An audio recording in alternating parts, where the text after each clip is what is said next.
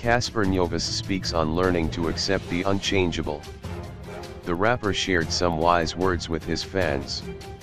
With great power comes great responsibility and rapper Cassper Nyovest understands that he can use his platform for more than just promoting his brand, but to also help keep his fans motivated. Cassper took to Twitter on Monday to encourage his fans to accept the hand fate deals them and learn to make lemonade when life hands them lemons. One of the most important things in life is to learn how to accept what you can't change. That's where you find solutions, that's when you become effective and efficient.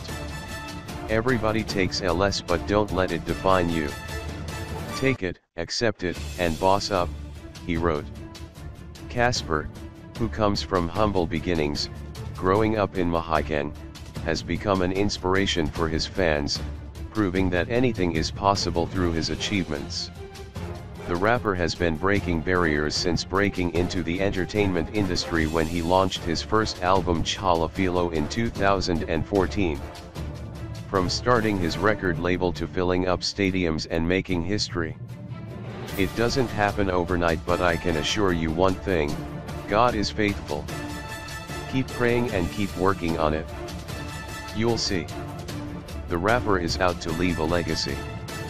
Cassper announced recently that he collaborated with the founder of Drip, Lekau Sehoana, to launch his first shoe line.